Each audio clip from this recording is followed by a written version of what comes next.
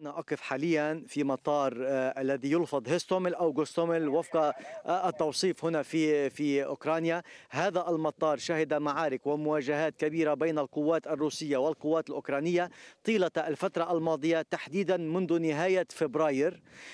حاليا سيطرت عليه القوات الأوكرانية دخلت إليه بعد انسحاب القوات الروسية. هذه العملية عملية السيطرة على المطار هنا تمت خلال الساعات الثمانية والأربعين الماضية وقد بات تحت كامل السلطة الأوكرانية بعدما تراجعت القوات الروسية من محور إربن مرورا ببوتشا وغوستوميل. هو مطار عسكري ولكن أيضا يستخدم كمنصة لنقل البضائع وتحديدا المواد الإغاثية والأغذية المرتبطة بالجيش أو بمساعدات كانت تقدمها أوكرانيا إلى دول في لحظات أي حصول أي كوارث طبيعية.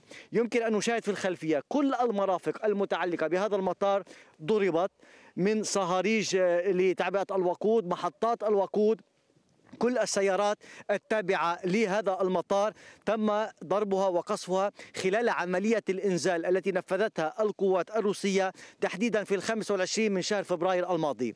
أيضا في هذا المطار كما نشاهد الآليات والمدافع التابعة للجيش الأوكراني التي تم ضربها عندما هاجمته القوات الروسية. بالإضافة إلى ما تصفها أوكرانيا بأنها فخر الصناعة الأوكرانية نتحدث عن طائرة أنطونوف 225 كما تشاهدين. هذه الطائرة هي أكبر طائرة شحن في العالم.